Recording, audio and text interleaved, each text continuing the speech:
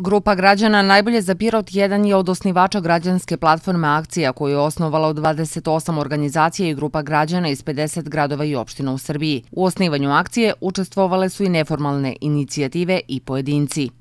Osnivački skup je održan u Beogradu u subotu 5. juna u klubu Dorčel Plac.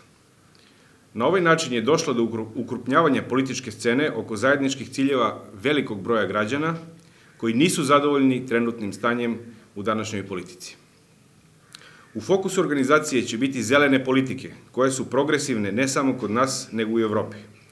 Zalažemo se da ekonomija ne bude linearna, već cirkularna, da se ublaže nejednakosti, da se stvore uslovi za bolje obrazovanje i zdravlje. Suština je da radimo zajedno sa građanima, da građani direktno biraju svoje predstavnike, da ti predstavnici budu odgovorni direktno građanima, i da se uspostavi bazično poverenje između građana i njihovih predstavnika.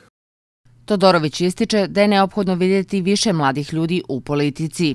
Jedan od važnih ciljeva ove organizacije su i predizbori, gde bi se delegirali kandidati koji uživaju najveći autoritet kod građana i na taj način napravile kvalitetne izborne liste. Na ovom skupu osnivači su usvojili programsku platformu koja se zove Zeleni dogovor za Srbiju, koja će biti temelj ove organizacije.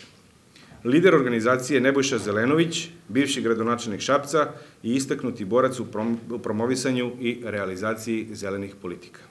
Osnivanjem akcije Najbolje za Pirot će zadržati samostalnost i političko delovanje u lokalnoj politici, kaže šef odborničke grupe Najbolje za Pirot Žarko Todorović. Cilj je da se građani uključe u politički život i da utiču na dalji razvoj Pirota kako bi stvorili bolji i drugačiji Pirot, istakao je Todorović.